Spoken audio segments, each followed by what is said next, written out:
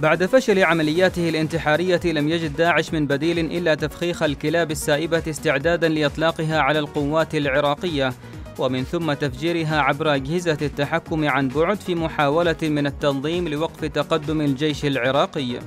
وتفاديا لنجاح هذا التكتيك أصدرت القوات العراقية تعميما لكافة عناصرها بتوخي الحذر والحيطة من الكلاب السائبة، والأمر ينسحب أيضا على الحيوانات الأخرى.